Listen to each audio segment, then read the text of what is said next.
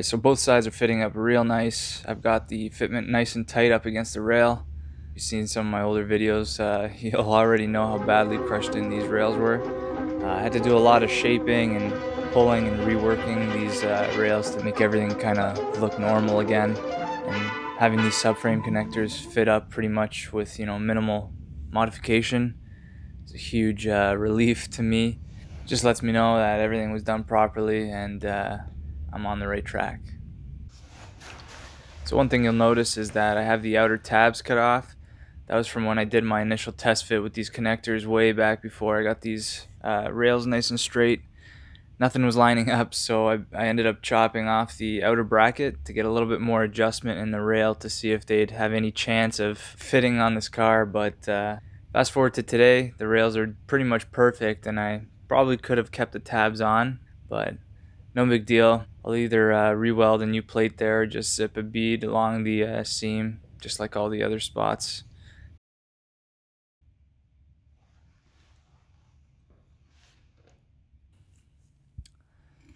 So here's the back of the connector. I have it nice and tight up against the new torque boxes. The subframe connector needs to sit flush with the channel or else it'll block the IRS cradle arms from swinging up. And since the torque box is a little tighter to the frame rail than a stock torque box would be, the connector has to be pushed just a little bit more inward in the back. And as you can see here, it's all fitting up perfectly. Last thing I'll point out on the lower subframe connectors is the front driver's side. If you look towards the back of the rail, you can see it bend up just slightly with a little bit of a gap. That's actually supposed to be nice and flat as well, but when I was doing the frame rails, I couldn't I actually couldn't get to that part of the rail because from the top that's where the floor cross brace runs. But no problem. Uh, we'll be cutting those out shortly because I'm going to be also putting in through the floor subframe connectors. So top and bottom subframe connectors. Car's going to be rigid as hell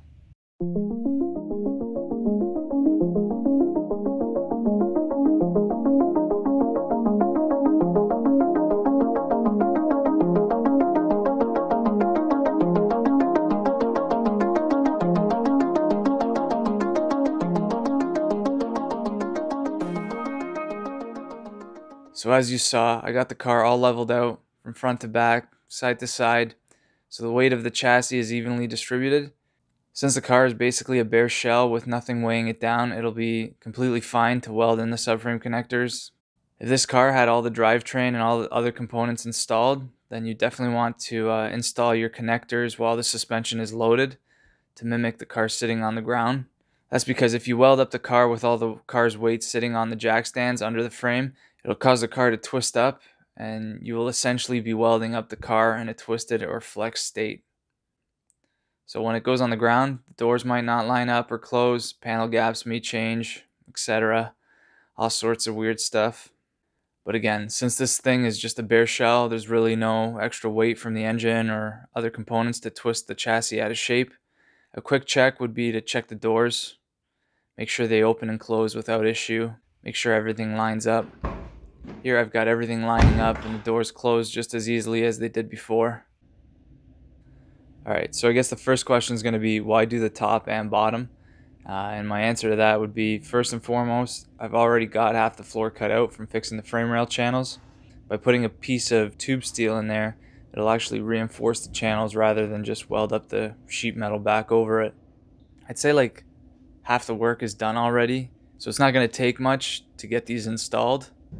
Having these through floor connectors will go a long way in stiffening this car up. Not to mention the frame rails won't get crushed in by a jack stand ever again.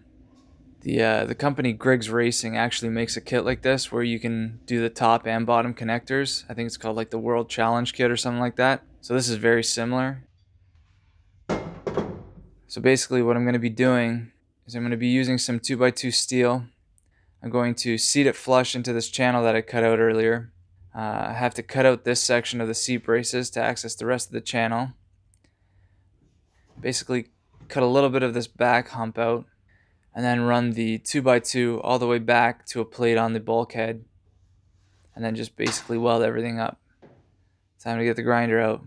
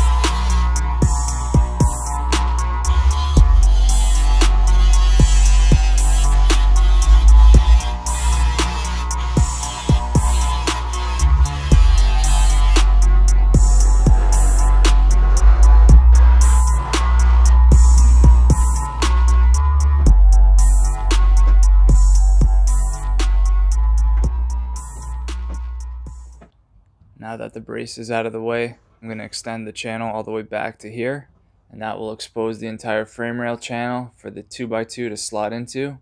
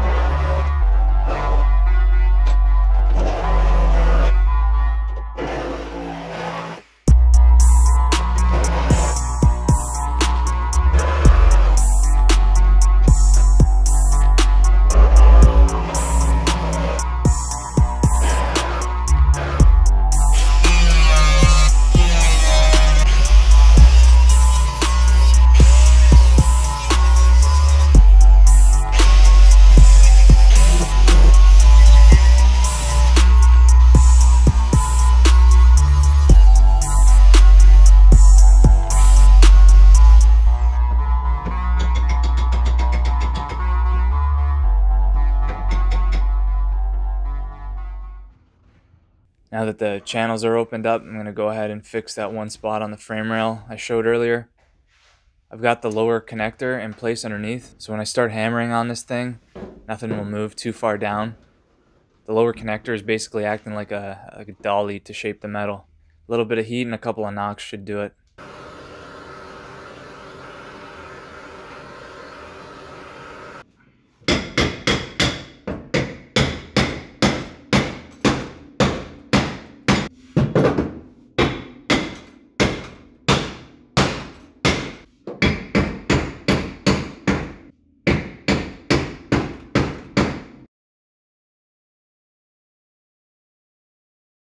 Nice and flat.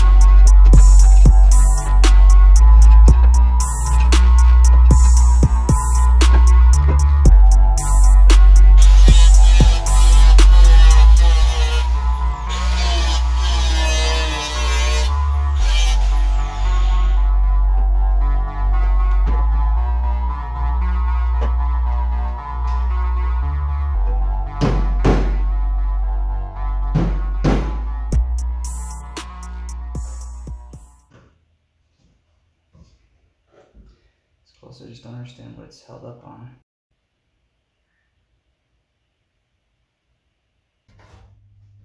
Alright, so I figured out why the 2x2 wasn't seating properly. The issue is the back here at the end of the channel. The frame rail has these two bumps that swoop up and cause the 2x2 to kind of sit a little higher in the back. I have to basically flatten these two bumps out and lower this section just a tad to get that 2x2 positioned lower. So here I've got some Harbor Freight body shaping hammers that I'll use. This one here has the perfect shape to work on the back of the channel here and get everything nice and flat. I've also got this completely flat one that'll finish everything up. Main reason for all of this is so I can actually fit the seat brackets on here without interfering or hitting the 2x2. So here you can see there's not much to it, but it's definitely hitting that back portion of the channel, causing it to teeter a little bit.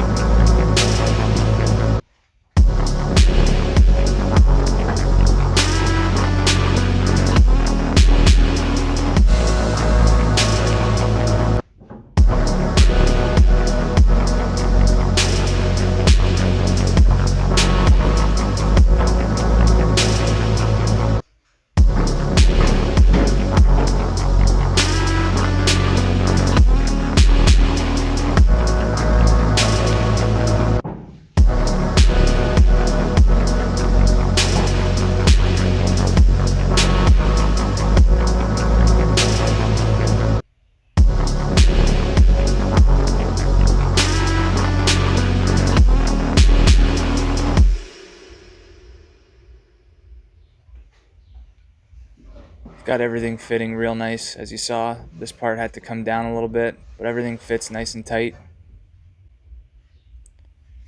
Doesn't look like much on camera, but there's lots of space between the bracket and tubing, so no issues there. I may pull out a stock Cobra seat to see if the factory seats fit, just in case I ever go that route.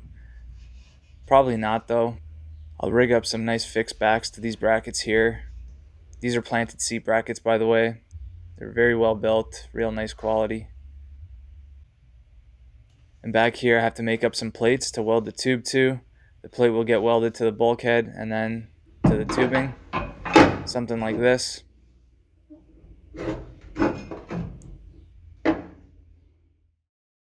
I'll also need to make up some brackets for the front where the 2x2 is up against the firewall.